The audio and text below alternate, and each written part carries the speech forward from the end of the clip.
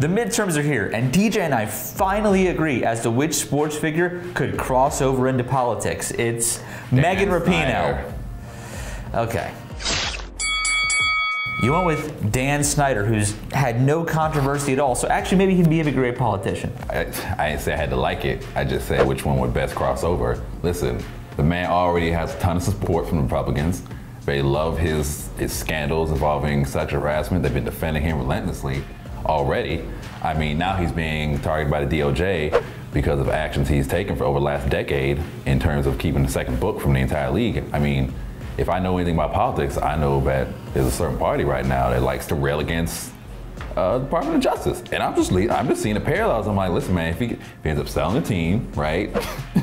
and either he needs a second career, he needs something to do with his time. I will actually be choosing a woman who can cross over to politics in Megan Rapinoe. She's someone since the 2019 Women's World Cup and probably a couple years before that has had no problem putting her foot into the politics discussion. Remember when Trump went after her when she was wearing the colors of the United States at the World Cup and she won the Golden Boot? Yeah, and then she did a bunch of political interviews basically saying his message hurt people. She's someone who's been very inclined to get equal pay for women with U.S. soccer, basically been a great representative not only of the LGBT plus community, but just American women in general in terms of how they can advance society and bring up everybody. Where she falls politically would be against the Republicans, obviously. So it would be a great debate, Rapinoe versus Snyder, because that's how these things work, red versus blue. I just went with the most fascist uh, owner I could think of in, in sports right now. And I went with the most liberal sports. And I'm just reading the room, all right? I don't make the rules.